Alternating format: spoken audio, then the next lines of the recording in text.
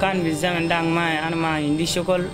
Biji ligitu shokolina ana ligitu ligitu asi ana uniform ana bitai fi ana ligitu ajat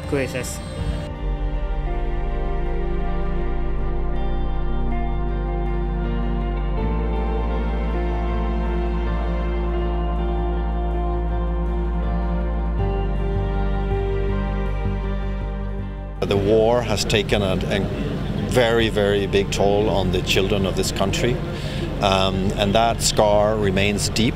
Um, so it's very important now to turn the corner, to work very actively with these children.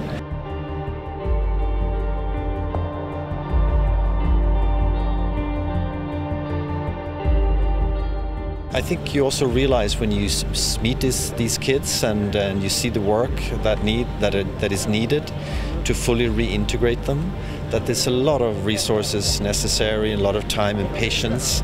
Um, and um, and some of that, uh, some of those resources, I think are still lacking, uh, especially in Pibor as we saw today.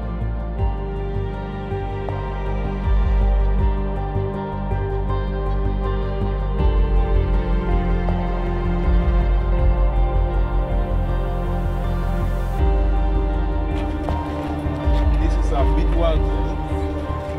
Gentlemen.